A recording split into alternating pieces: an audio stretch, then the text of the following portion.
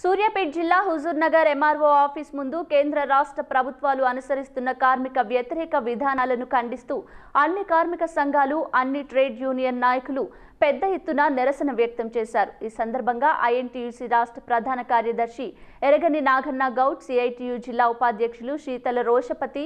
AITUC జిల్లా అధ్యక్షులు జడ శ్రీను పలువురు నాయకులు మాట్లాడుతూ కేంద్ర ప్రభుత్వం తీసుకునే కార్మిక చట్టాల సవరణ వెంటనే ఆపాలని ఎనిమిది గంటల పని విధానాన్ని పన్నెండు గంటల నిర్ణయం తగదని పెట్రోల్ డీజిల్ ధరలను అరికట్టాలని రాష్ట్రంలో పేద కుటుంబానికి ఏడు వేల ఐదు వందల రూపాయలు ఇవ్వాలని తెలంగాణ రాష్ట్ర ప్రభుత్వం కార్మికుల సంక్షేమం కోసం కృషి చేయాలని కేంద్ర రాష్ట్ర ప్రభుత్వాలను డిమాండ్ చేశారు.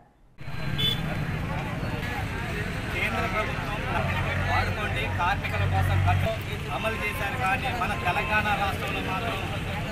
జీవో అమలు చేయడం వల్ల అమలు చేయాలని దాంతో పాటు ఈ కరోనా కరువు కాలంలో అసంఘటితంగా కార్మికులు పేద ప్రజలకి నెలకి ఏడు వేల ఐదు వందల చొప్పున ఆరు నెలలు ఇవ్వాలని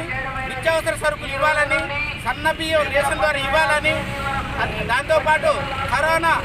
ఆరోగ్యశ్రీ దాంట్లో పెట్టి ఈరోజు కరోనా శ్రీ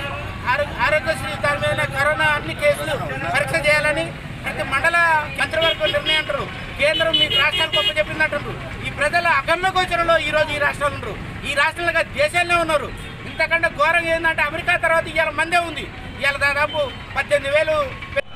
అఖిల భారత సెంట్రల్ ట్రేడ్ యూనియన్స్ పిలుపు మేరకు సూర్యాపేట జిల్లా హుజూర్ నగర్ తహసీల్దార్ గారి కార్యాలయం ముందు ఆల్ ట్రేడ్ యూనియన్స్ నిరసన కార్యక్రమం చేపట్టడం జరిగింది. ఈ కార్యక్రమంలో సిఐటియు నాయకులు ఇటీవల కరోనా సమయంలో ఏదైతే ఎన్- ఈ యొక్క ఈ యొక్క నరేంద్ర మోడీ గారు ప్రభుత్వం అనాలోచిత నిర్ణయాల వల్ల చిన్న తరహా పరిశ్రమలలో కార్మికులు ఇప్పటికే దాదాపు ముప్పై ఐదు శాతం పరిశ్రమలు మూతపడ్డాయి భారతదేశ వ్యాప్తంగా. మరి కార్మికులు కూడా కరోనాకి ముందు కేవలం ఎనిమిది పాయింట్ ఐదు శాతం నిరుద్యోగం ఉంటే కరోనా తర్వాత ఈరోజు చేపట్టిన కేంద్ర ప్రభుత్వం కానీ తెలంగాణ ముఖ్యమంత్రి గారు కానీ బిల్డింగ్ వెల్ఫేర్ బోర్డులో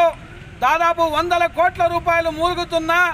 ఉన్నటువంటి కార్మికులకు నెలకి ఏడు వేల ఐదు వందల రూపాయలు వారి అకౌంట్లలో వేయాలన్నా కానీ మరి ఈనాడు టీఆర్ఎస్ ప్రభుత్వం నిమ్మకు నీరెత్తినట్టుంది కార్మికులను హేళన చేసే విధంగా నడుచుకుంటుంది ఎన్ని నిరసిస్తూ ఈరోజు భారీ ఎత్తున మన కార్మిక సంఘాల నాయకులు పాల్గొని ఈ నిరసన కార్యక్రమం